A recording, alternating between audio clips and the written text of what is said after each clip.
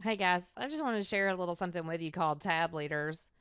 Right now, all over the world, there are people who are doing a setup sort of like this.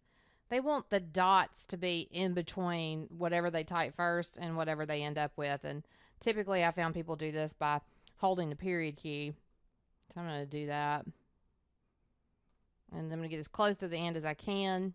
And I'll type whatever words come next and then the alignment process starts. And I really want half day and full day to be a little bit closer together, but if, if I keep periods in there, I can get it visually screen close, but when I print it, it'll really tell the truth of the document. Let me go ahead and delete that. And let me delete this top line. I'll show you how to do this properly. I'm going to go ahead and highlight my three lines here.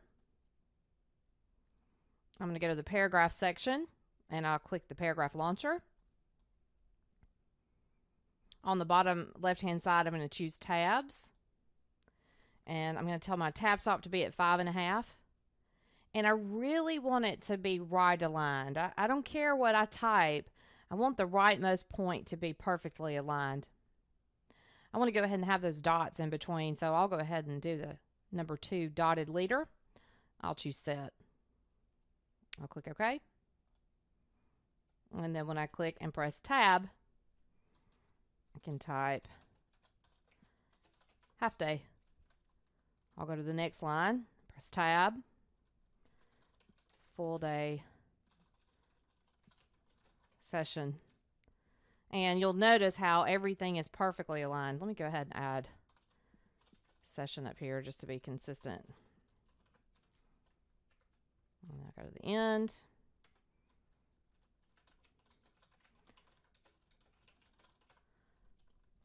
Perfect. Awesome. So tab leaders are easy to set. Again, you go to the paragraph section, you click the settings, you go to tabs, you set your tab stop, you set your alignment, you set your leader type, you choose set, choose OK, and you're good to go.